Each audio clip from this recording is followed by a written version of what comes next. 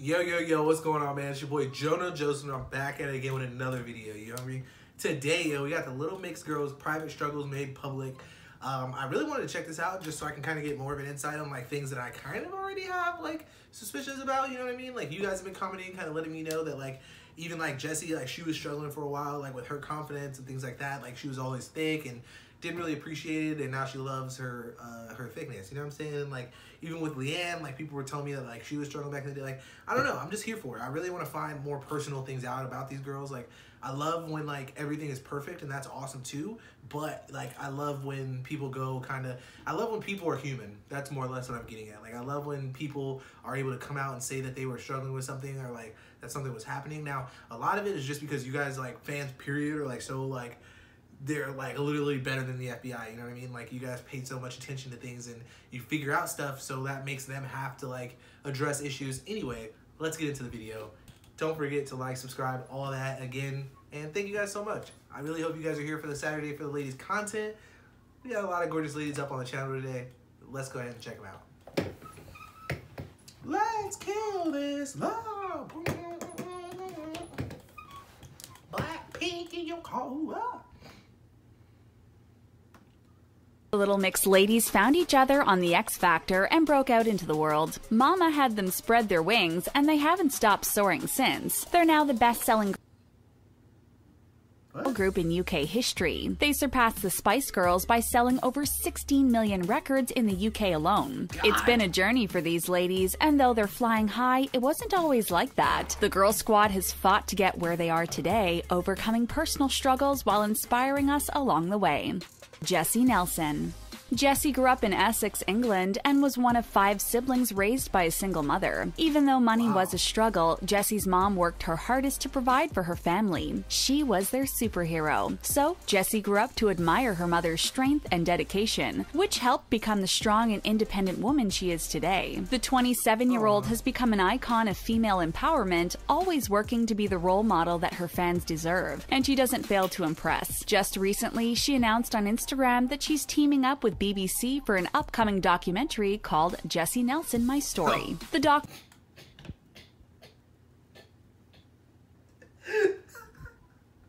we all see where my mind is, okay? will show how social media can play a destructive role in regards to mental health and body positivity. We have no doubt that her personal struggles will be insightful since she has always been open and candid about her grapple with trolls over the years. When she was on The X Factor, they tore into her viciously, gleefully picking her apart and exposing all her insecurities for the whole world to see. She talked about it tearfully while on the set of X Factor in 2011. Jesy opened up about comparing herself to the the other girls in Little Mix, saying they were slimmer and smaller than her. She went on to explain how social media has become a platform for bullying, saying that trolls continue to talk about her weight on Twitter. Her experience with trolls and bullies doesn't begin there, however. It all. I need you guys to know, like, especially all you females out there, like, even males, because, like, we struggle with it too, but stop. Like, people yes it's only i feel like it's really only considered bullying because like you yourself hasn't accepted it. But if you love yourself like nothing anybody can say can ever hurt you. So that's something you need to look look at more. You need to stop putting yourself out there when you don't like have 100% faith in yourself. You know what i'm saying? Like if you if you are confused about something or like feel some type of way about it like you need to just get out of that situation okay stop going on going online like thinking like you're gonna get like acceptance from strangers and people aren't gonna pick you apart. Like people are gonna roast the crap out of you. You know what i'm saying? And it sucks man but it's honestly like other people do it too. Like usually the people who care so much about what other people say are the people who talk the most crap. Like you can attempt to not agree with me but a lot of that's usually how it goes. Like a lot of the time when you sit there and like care so much about what people have to say about you, like especially on like stuff about your size and like the other girls weren't slim. Like, come on, bro. Like every girl has their own body type. Like, you know what I'm saying? Even dudes, like dudes have their own body types. Like, come on, son. I've been chubby my whole life. Like, I had a skinny period in my life. Like, I'm getting back there now. But it's like, bro, come on. Like, let's be real honest here. Like, not everybody looks the same, and not everybody's ever gonna look the same. You're never gonna look like certain people, and be okay with that. But also accept that some people are beautiful, and you gotta accept that, bro. Like you're beautiful in your own way, and they're beautiful in their own way. Accept that.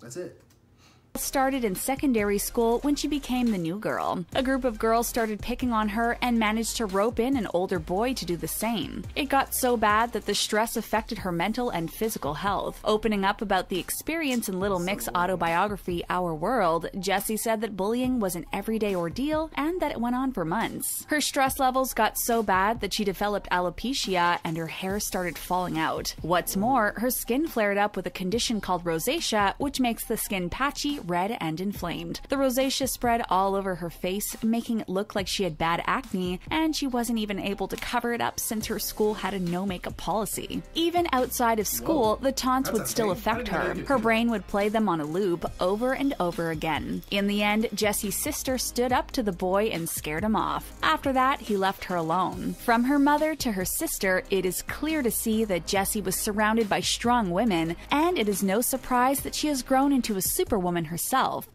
Jade Thirlwall. The 26 year old beauty was born to working class parents. Her dad was a taxi driver and her mom was a manager at her school. Though she is of Yemen and Egyptian descent on her mother's side, What is a manager at a school?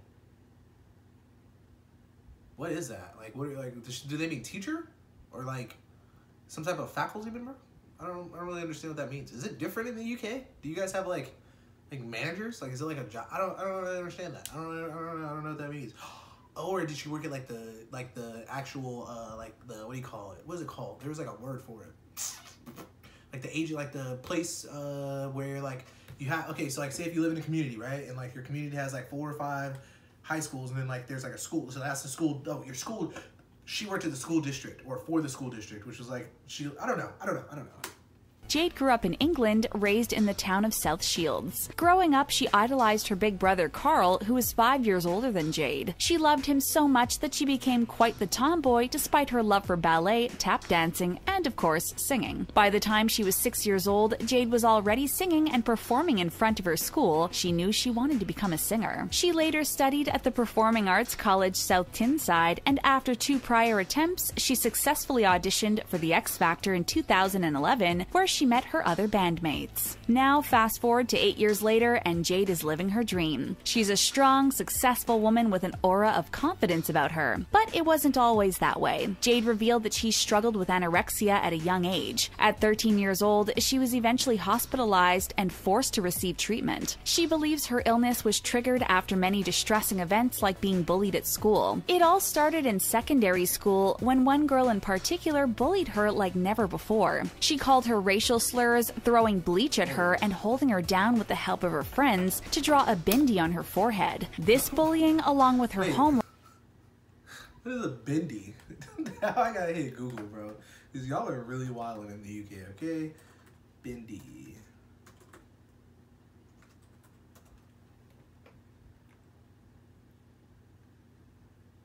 Bendy the ink machine? What the heck? I wonder if this is what they're talking about. I hate that you'll never know. Like I'll never know. I don't know.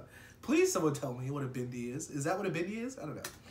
Life catapulted her struggles with anorexia. Jade came clean about the events that led to her eating disorder in the band's book Our World. She was 13 when she was diagnosed with anorexia. She believes it to be a culmination of many events occurring in her life at the time. Her grandfather, whom she had been extremely close to, passed away and she was being bullied at school. And so she looked to food to regain a bit of control over her life. In Our World, Jade explained that her eating disorder stemmed from her need to have control over her life. And despite only being 13 years old at the time, Jade sought to monitor and limit her nutrition. Her restrictive diet escalated, and soon she was looking in the mirror and not liking who stared back at her. She by no means thought she was overweight, but still what she wanted was to be very, very skinny. Naturally, her mental and physical well being began deteriorating, and she was taken in for treatment. There, she was told that if she continued to destroy her body, she might not make it through the year. Luckily, after some time, with the help of her family, she pulled through, and then in 2008, she auditioned for The X Factor for the first time. Yet, despite her success and fame after The X Factor, she still battled with insecurities and self doubt. Past ghosts came to haunt her when a magazine digitally changed her nose and whitened her skin after a photo shoot. The edits had shaken her so badly that she'd almost gotten a nose job. However, after all of this, Jade has now become a leader in the self love and mental health movement and has shared her thoughts about the experience on Twitter. She admitted to wanting to get a nose job after her first magazine shoot, along with whitening her skin. The publication photoshopped and completely changed her nose. Being 18 at the time, it really damaged her self esteem and brought new insecurities to the surface of her mind. She seriously thought that she was ugly, but no more. Although she might not always feel like she fits Yeah, they're wilding because Jay is bad as fuck. Like, let's be honest here. Like, that's crazy. I ain't even really like, yo. I think I did point out her nose like the first time I watched their videos. Dang, that sucks, dude. I hate. I see. I hate when stuff like that happens. Like, I don't mean to be like a bad person. Like, I hope you guys don't think that I'm like a horrible person. Like, I don't. I don't like mean to point out stuff like that. I just point out what I see. You know what I mean? Like, that's what I'm saying. You got to be able to love yourself because when I'm like critiquing these videos or I'm going through like I was trying to choose who I was like really into and like I kept naming certain things, but dang, that's horrible. I gotta stop doing stuff like that, yo. Dang. Okay. into society's mold, she's done with thinking that she's not beautiful, and she wants her fans to feel the same way, which is why she enjoys posting inspirational quotes on the Little Mix Twitter page. Perrie Louise Edwards.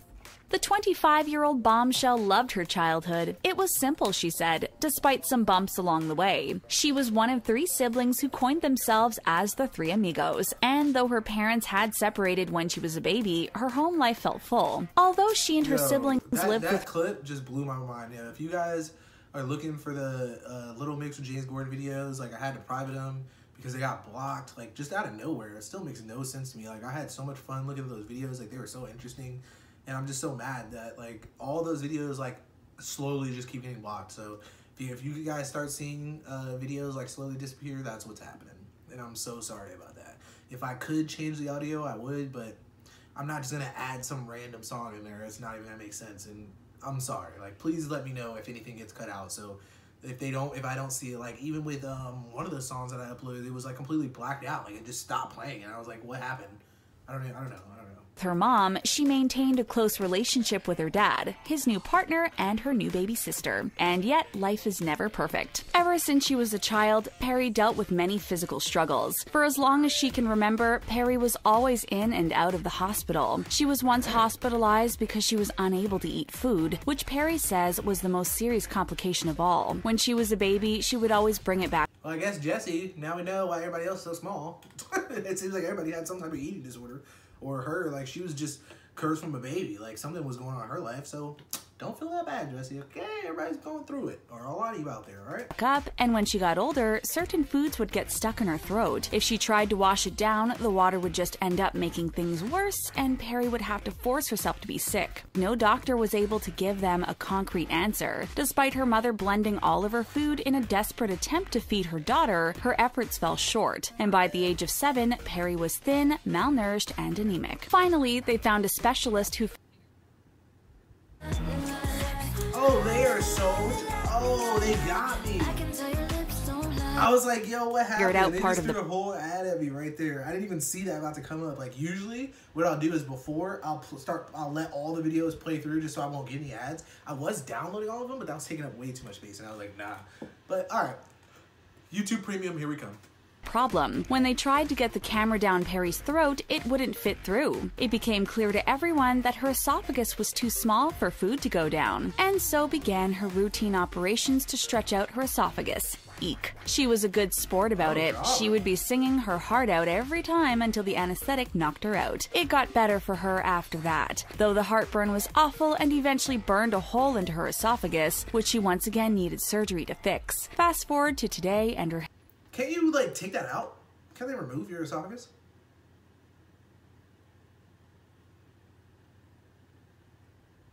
Can they? I'm pretty. I don't know. I don't know. Health is no longer a life threatening issue. Thank goodness. And yet, though Perrie has been to the end of the world and back, insecurities still manage to worm their way in. She's looking beautiful, happy, and healthy now. But for a while, there was a part of her that still didn't feel that way. Last year, Perrie posted a photo on Instagram that shocked her fans, in a good way. The photo revealed a fresh face that fans had never seen before. She was covered in freckles. She captioned the photos, writing that all her life her freckles had been a cause of insecurity for her.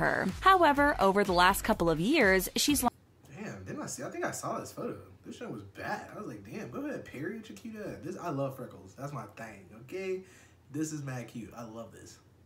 She captioned the photos, writing that all her life her freckles had been a cause of insecurity for her. However, over the last couple of years, she's learned to love and embrace them and doesn't need to hide them anymore. So, what string of events caused Perrie to feel like she had to hide her freckles? Well, according to Perrie, one of the doctors who studied her during her youth once asked her what those things on her face were. Her answer was adorable. They were angel kisses, she said. To which the doctor I just spilled water all over myself.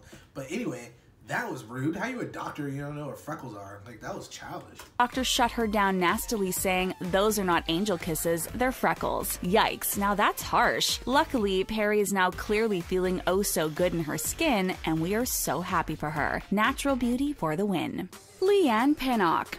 Leigh-Anne was the baby in her close knit family. She and her two older sisters were raised by hardworking parents who did everything in their power for their children's dreams to come true. Even after her parents divorced when she was 14, the support they had for their children were above and beyond. Early on, Lee showed an affinity towards performing, and her father, a former boxer and actor, encouraged her wholeheartedly. Unfortunately, Lee was extremely shy and suffered from incredibly powerful stage fright whenever she tried to perform. With determination, however, and with the support of her family and friends, she broke through and found herself auditioning for the X Factor in 2011. Now, Go the 27 year old is an unstoppable force and integral part This is like so crazy, bro, because it just proves that everybody's going through something. Like everybody's going through something, man.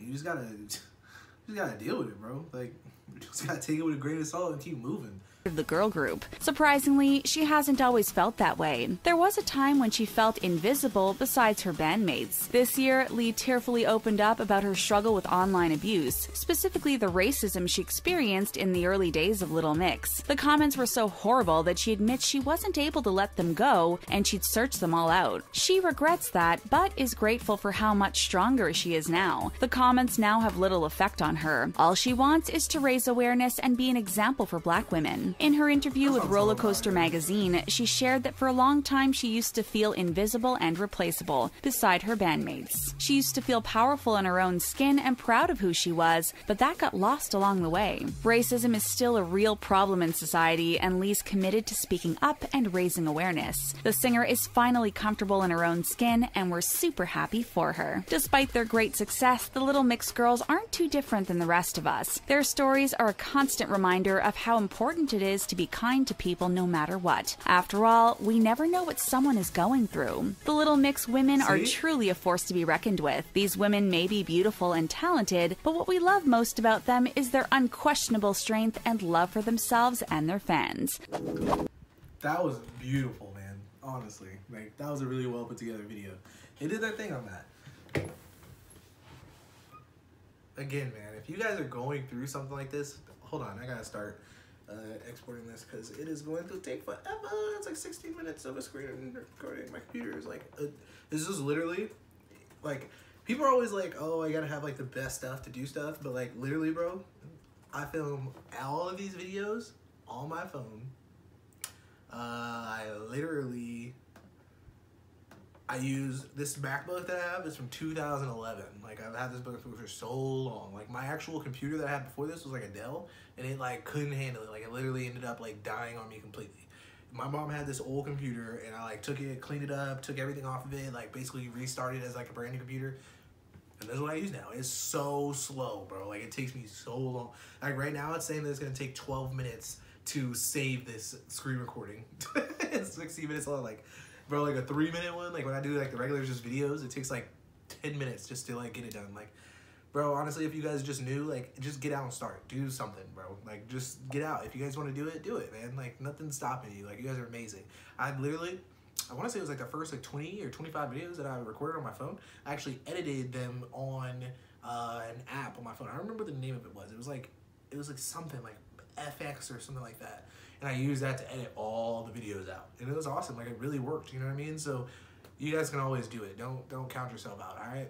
Also, just to talk about that about the bullying and stuff like that again, like it's crazy, bro. Like even just watching this video, I've realized like how I've had my own part in like bringing up things. Like you don't always have to say stuff. Like a lot of times, bro. Like there's so much more to talk about. Like just be a good person. Like just have a conversation. You know, it doesn't always have to. You don't always have to part, point out the bad stuff in somebody. You know what I mean? Like you can talk about the good things that they have going on. So just just be better, okay? Everybody, like just be a better person for for all the people around you and for yourself. All right. Thank you so much for tuning in. I really love you guys. Peace.